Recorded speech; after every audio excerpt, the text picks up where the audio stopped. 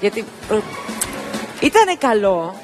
Δε- Ήτανε καλό. Απλώς ε, προσπαθώ να καταλάβω τι είναι αυτό λίγο που κάτι μου έφτεξε. Νομίζω ότι ήταν ματίνα. Ε, Καταρχάς να, να πω ότι και οι δύο είστε από ένα επίπεδο και πάνω, έτσι. Ευχαριστούμε πολύ. Από εκεί και πάνω μιλάμε.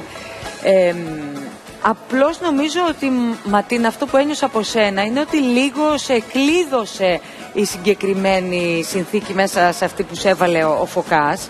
Ε, κάνατε κάτι σαν Ρωμαίο, Ναι, ήταν Ιουλιέτα; Ρωμαίος, Ιουλιέτα. Όχι, καλή στη Βερόνα μεταφερθήκαμε. Ναι, Δεν είναι ναι. διαφορετικό. Αλλά ήταν Έτσι, αυτό. έτσι, ναι. Την αυλή Και της, ε, την έτσι. προσωπικά αισθάνθηκα ότι κάπου λίγο όλο αυτό έπρεπε να σ- ν- σε περιόριζε. Αυτό, αυτή είναι η λέξη νομίζω. Δεν είχε.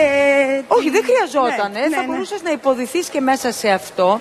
Σίγουρα όχι με την ευκολία του να ήσουν σε ένα γλέντι, ας πούμε, Ναι, και ναι. να του το λες ξέφρενα.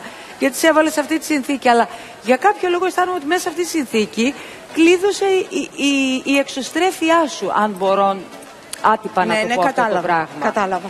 Οκ. Μόνο αυτό λίγο. Ε, εντάξει, Ωραία. κάποια λίγο στην αρχή, αλλά αυτό ήταν λίγο που Η χορογραφία μας έβαλε σε σκέψεις, είναι η αλήθεια. ναι, και ξέρεις κάτι, Βασίλη, γιατί λέω μ, δεν λειτουργεί με τον ίδιο τρόπο όμως με τον Βασίλη. Εσύ ήσουν λίγο πιο χαλαρός.